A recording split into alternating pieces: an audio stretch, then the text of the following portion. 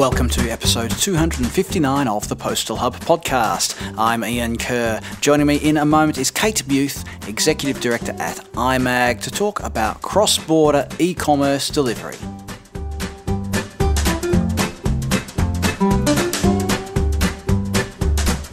Joining me on the line is Kate Muth. Kate is Executive Director at IMAG, the International Mailers Advisory Group. Kate, we're going to talk about advanced electronic data and why it's really important, what's happening at the moment with regards to cross border e commerce via the post, and all that sort of stuff. Why don't we just start with a quick refresher though? The uh, electronic advanced data, or whether you call it EAD or AED, it's the same thing we're talking about here. It came to the fore a couple of years ago. Can you just remind everybody why what led to EAD being back on the agenda? Yes, right. So there's a few things going on. Of course, the the UPU was trying to get everybody sort of, you know, providing advanced electronic data to posts providing it to each other. The global postal model, I believe it's called, was set to take effect January 1 of 2021. And so countries would post would provide advanced data, the seven plus one data. Here in the US, uh, things really amped up a few years ago with the passage of the STOP Act which was an attempt to try to um, try to stop or stymie um, the movement of opioids and illicit narcotics through the postal international uh, mail stream. And of course, uh, advanced data helps with detecting counterfeit and, and uh, prohibitive goods and things like that. So customs authorities use it for risk assessment. And um, I would say in January of 2021, there was a real heightened attempt to try to get everybody uh, at least all of the developed countries to provide uh, 100% advanced data. But we know that um, some countries are behind, of course. And uh, here in the US, for, for especially for my members who do a lot of export outbound shipping from the US to other countries, the US Postal Service really stepped up its enforcement of what we call export compliance when we spoke, oh gosh, I can't exactly remember when it was. We were talking about the implementation of all of this and how what would happen if shipments were detected at the border and if they didn't have the right data. So, what's happening right now with any shipments or any whether it's an individual parcel or however it might be worked out? What's happening with with with shipments that have either inaccurate EAD or missing or incomplete data? What's what's the current status? Yeah, I think we, we did talk about a year ago, and I just, you know, for the record, I do know a few other topics, but it's nice for us to talk about advanced data. This isn't my entire life, but uh, you're right. There, last year we were sort of ramping up and gearing up for the implementation date. The U, in the U.S. under the Stop Act, we were waiting at that time, or maybe it had just come out. Uh, Customs and Border Protection, which is our customs authority, had to put out a uh, final rule on uh, which essentially, you know, when Congress passes into a bill into law. Um, there's implementing rules that go around it, and the agency responsible uh, for implementing puts out a final rule. Well, we were waiting on that. It ended up being an interim final rule, and it granted what we call, I think, um, informed compliance. It granted essentially a grace period of about a year so that the the postal service could work and the state department um, and customs could work with other countries to ensure that they were getting closer to 100%. So I don't know um, that here in the US we are sending things back just at the moment. We're still in that grace period. Um, in other countries, we are.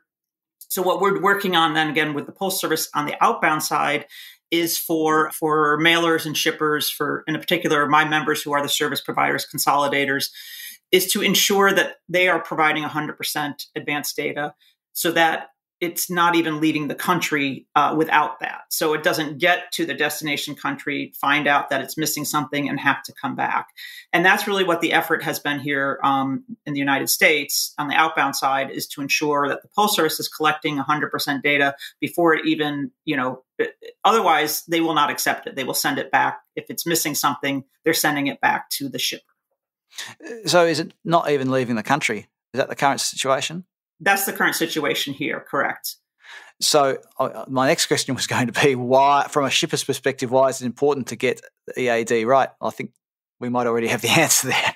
Yeah, and I think that's a really important, you know, issue. That this has been it's been a challenge. It's been a difficult, and, and I'll just want to note, Ian, that here in the U.S., at least for my members, we were going from something like ninety percent AED to close the gap to hundred percent. So we were already providing the the the shippers, um, bulk shippers or commercial shippers, were already providing a very robust amount of data. But you know, there's still we had to close that gap, and it's been difficult because stuff can't stack up at the international service centers. And I think if you read the um, Office of Inspector General Management Alert, you saw that at times it's because the Postal Service's um, internal systems, which is the sort of their tracking systems and their clearance systems, there can be a latency, there can be a bit of a lag time. And so it will look like, oh, we didn't get the data, and then they'll send the shipment back, they'll send the recep- receptacle back to the um, to the consolidator or to the shipper, and they're like, well, what? I don't. What's missing? Well, nothing's missing. It was just this lag between the postal service kind of moving it through its internal IT system. So we've been working with the postal service uh, on that too to try to reduce even that from happening. But um, as I said, we want to get it right because you don't want it to get to the destination country and then have it come back. And and then one other thing I just want to note there is, it, you know, you talk about collecting 100% AED and there's sort of a theoretical you know there's a plan and, and it kind of in theory it sounds like okay we got to get to 100% but if if something sits at the international service center waiting to be cleared or if it goes back and then it has to come be re-entered again. I mean there's a customer on both ends of this that are having a bad experience. You have the shipper and you have the end recipient. And so i think that's the piece of it that people are are trying to keep in mind too is that you know somebody is waiting a really long time for a package. You mentioned that prior to the introduction of the Stop Act, uh, there was already movement at a global level to improve the uh, the quality and the compliance with regards to EAD on international shipments going through the mail. What was the driver for that back then? Was it just about getting better data to streamline exactly what you were just talking about to get to, to, to iron out those bottlenecks? I don't know if you can iron out a bottleneck, but I think you know, clear the bottlenecks. I suppose is a better way of putting it, right? So, is was it about that, um, or was it about you know custom c- collecting customs duties at the other end? What sort of what's what were the drivers before we we sort of had this acceleration thanks to the Stop Act in the USA? Yeah, I think it's a I think it's a few things. I certainly think for customs authorities, it's all about risk assessment and how do you you know there's e-commerce just exploded. We have massive amounts of um, lightweight and, and sort of low value packets and, and packages coming in, sort of overwhelmed customs authorities in many countries. And in some countries, and especially like in the U.S., it's it's security and, and and helping customs with their risk assessment using technology to do that. Uh, other countries, I think in the European Union, you know, there's a, um, a tax uh, implication. Now you have the value added tax being applied to all low, you know, the de minimis removed. So it's sort of, I, I've seen presentations where it's for a variety of reasons, and it's to re- reduce counterfeits as the um, marketplaces and platforms really exploded. Counterfeits have increased enormously. So for each custom authority, it may be a variety of reasons. And because so much of the lightweight, uh, low value goods move through the postal network, it, it, was time to kind of bring up the to to have postal and customs clearance be relatively the same, you know. And uh, I think this is really where the the action has been is to use technology and to use advanced data to try to uh, to try to make that uh, an easier process for customs authorities, which then is a benefit for shippers and recipients as well so it's becoming a level play, playing field in terms of where, when it comes to collecting customs data and, and transmitting data in advance of the shipment landing in the destination country. So, I mean that we've got a, I don't want to say level playing field, but I can't think of a better phrase for it, between the postal operators and the private carriers now. The burden is equal. No matter what network you're sending it through, whether it's the postal network or a private network, uh, you're going to have the same requirements to send to, to provide and send that data for every shipment. Yeah, and I think that's ultimately uh, the goal. I mean, the private express industry has wanted that for many years. Has said it's been a little bit uh, burden has certainly been heavier on them. That's been you know where they've uh, sort of argued that uh, the playing field has not been equal. But I do think it is leveling out, and and you have you do see that also um, in the European Union with the changes. You know, with the ICS two uh, customs clearance system or advanced data system, and then of course around you know a revenue protection perspective, they're going to be collecting um, VAT on on all of those low value goods as well. Let's then talk about how that data is being used. Uh, we, well, we just talked about how it's being used. I guess the question I really have is are posts and customs using the data correctly? I mean, are they re- really using the data as it's intended to, to be, whether it's detecting counterfeits, whether it's collecting duties or streamlining? Uh, do you have any comments on that? Yeah, I think to us, uh, and this was in our comments to the the rulemaking from Customs and Border Protection. I don't know that it's clear that more data equates to more effective enforcement. It's it's not entirely clear to us how the data is being used or how much of it's being used. And I know we've talked about this in the past. So let's say you're uh, we you know we were collecting 80% and there and, and customs authorities are only using 1% of that data okay now we're working really hard to get to 100% are they using any more of the data? So, one of the things we've asked, at least in the US, is for some metrics around how the data is being used and is it at all effective, especially in reducing opioid, um, you know, the movement of opioids and illicit narcotics through through the mail, because that was the intention of the Stop Act. I don't actually know how it's being used in other countries. I don't know if the customs authorities are using it. Uh, I well, I guess we do know a little bit because we did have some things come back from um, our members earlier in the fall had some things coming back from Ireland. Uh, Irish Customs was rejecting items that didn't have HS codes, and that's not even a requirement in the um, in the UPU, you know, sort of global agreement. Uh, HS codes are not required, but EU authorities are starting to require them. So, you know, there's a little bit of a disconnect as well. Like if the rules aren't the same for the UPU uh, agreement as it is uh, from EU customs authorities, it's causing a little bit of confusion um, entering into those countries. So, in part, I mean, given that e-commerce is a, a, global phenomenon, and we we buy routinely from other countries. Sometimes we know we're buying from another country. Sometimes we don't. If we're buying via a marketplace, we don't know where that where that individual item we're buying is coming from. Um, so it, it sounds to me like there really needs to be greater harmonization of the requirements and clarity of those requirements. I, I, I know not, not that long ago, you know, one, one, European nation decided to independently you know, lower its uh, the the threshold to zero for VAT collection, and that had a tremendous impact on e-commerce into and out of that country. So, uh, well, there is a, a, need, by the sounds of it, for for greater clarity, and understanding of, of what the data is, what data is needed or what the data is used for. And and if I can put on my customer hat for a moment, Kay, I know I try to be, you know, take a fairly neutral standpoint, but I can speak as a customer. I hate it. I hate it when I get a parcel and I'm told I have to pay more in order to receive the parcel. I have some real horror stories I could share. I'm not going to share them today, but um, I had to pay a three figure sum to receive a packet of nuts. Right?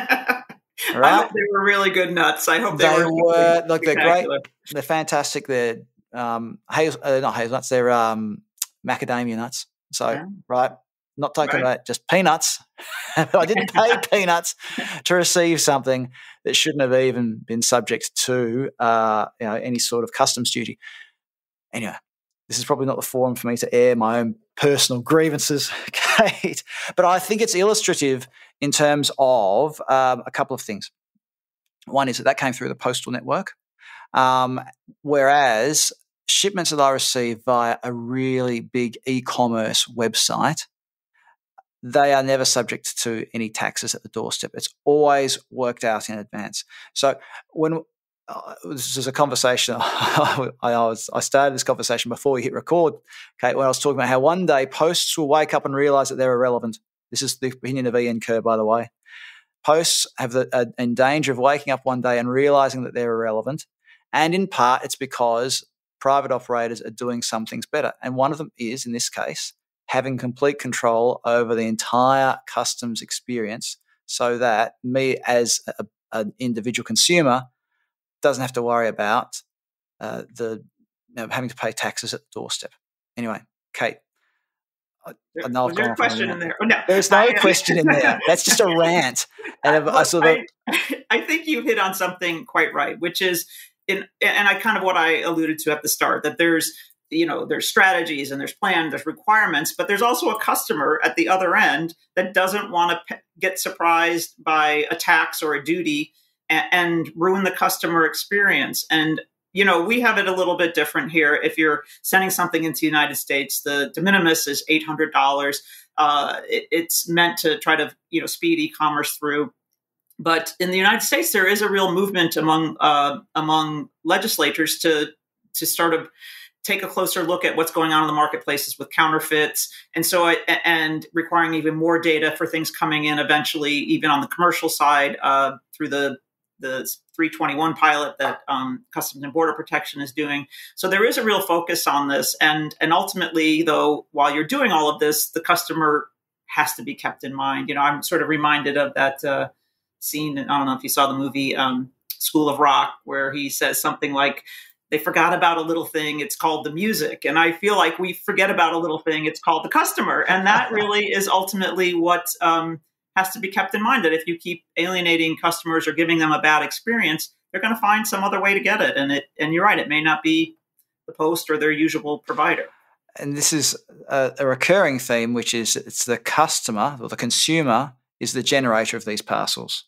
So when i go on online and buy something it's me generating the parcel and receiving it when any of you listening to this go online and buy a parcel, well, as we just said, you're generating your own parcels and you expect to get the service that you pay for, not to get slugged with an extra fee or not to find that's been delayed at the international gateway or things like that. Oh gosh, international gateway delays. Another thing that drives me insane. Absolutely insane. However, as we've heard before from um, even from uh, Sharrock at Assurity has said, you know, the data, it's all about the data. Yep. It's all about the data. So, so Kate, just coming back though to um, a couple of things we've just we've discussed during this um, interview so far. What you know, we've talked about the customer experience, uh, we've talked about the data and potential bottlenecks and all that. One of the things we haven't really talked about though is the whole procedure of let's say a parcel's going in or a shipment's going into the USA and the data is not correct. I mean, where is the shipment getting rejected? Where should it get rejected? What's the best way that this could be handled with and that rem, that has a real customer centric focus, if I can put it that way?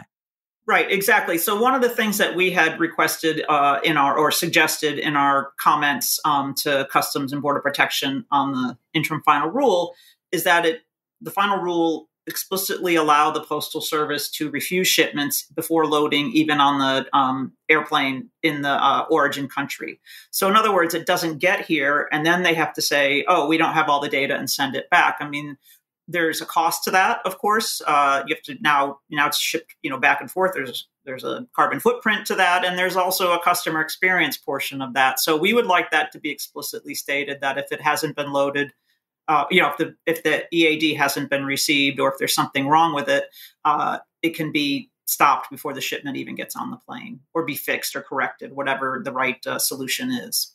Well, I'm told that the the big saying at the moment is data is the new oil.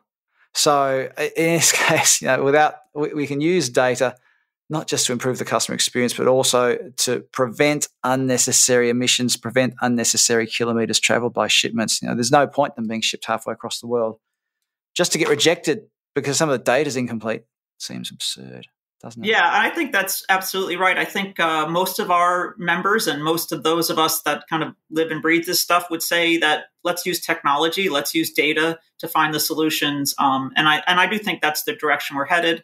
Some countries are going to be farther along than others and sort of how do we bring along um, and help you know help get everyone compliant and get those countries maybe that don't have the robust systems and IT solutions bring them along. So then we aren't seeing transshipments through countries where maybe you know they have a waiver for on the stop act or something like that. And that's another important piece here in the us is that a lot of countries were granted waivers and there's low volume and and less shipments and all of that but eventually we kind of have to get everybody up to speed so that you don't have to grant so many waivers and there isn't a temptation for the bad guys to send things through countries uh, that have been granted those waivers now, Kate, more broadly, just looking forward, uh, what do you see as being some of the big things that are happening in the in the, in the cross border and the global postal world in the next next 12 months? Any, anything on your radar at the moment? Do you think they're going to be one of the big issues of the of the next 12 months? Um, I think certainly this will be, you know, advanced data will be a topic. We will see. Uh, I'm hoping we get some international airlift back. You know, that remains the service challenges of moving things around the world with the lack of uh, international passenger lift,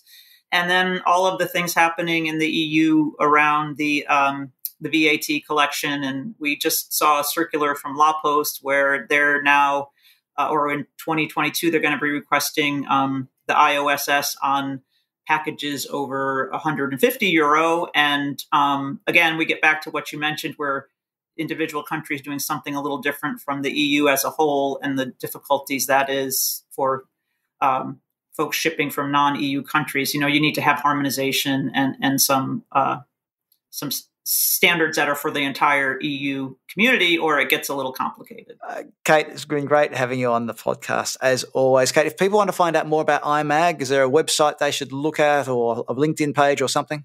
Go to the website www.imag.world, and I'm all, you can find me on LinkedIn as well imag.world. I didn't know there was a world domain. I suppose you can do whatever you want now, can't you, with those domains? Yeah. Standardization, liberalization. It's a theme that runs through everything. Kate Muth, Executive Director at IMAG, thank you very much for joining us on the Post Hub podcast today. Thank you, Ian. My pleasure.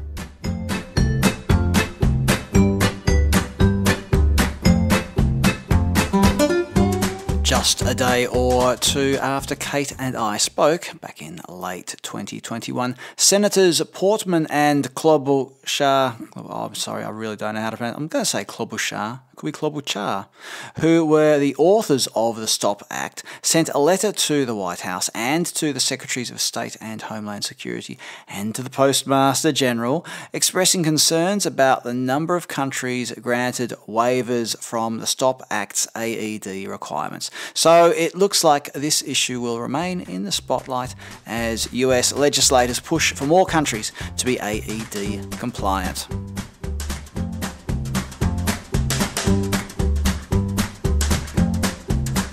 Coming soon on the Postal Hub podcast, Anna Möller BFA from Copenhagen Economics on postal reform, Angela Hultberg on outcomes from COP26, the impact on the delivery world, Heleen Buldeo Rai talks about the environmental impact of e commerce. Make sure you catch that one, very interesting. Brody Bueller from Escher joins me to talk about using data to create a high performing post. I mean, that's a great conversation as well, if I do say so myself. And Austin Reynolds from IPC joins me to talk about global postal industry trends. Now, I'm going to run out of time here, so I'm going to get straight to it. Make sure you subscribe to the podcast on your favorite podcast platform. And when you subscribe to it, whether it's Google Podcasts, Apple Podcasts, Spotify, whatever, leave a review, leave a rating. It's great. It really helps if you could do that, please. So please leave a review, leave a rating for the podcast, like a really. If you're on LinkedIn, you can follow me on LinkedIn. You just find me on LinkedIn and click follow, and you get my stuff in your feed. You don't have to connect with me or anything like that anymore. Uh, what else? Go to thepostalhub.com and sign up for my email newsletter or sign up for the Daily Delivery Digest as well. Poke around there, you'll find what I'm talking about. That's enough from me. I'm Ian Kerr. Thanks for listening in, and I look forward to your company next week on the Postal Hub podcast.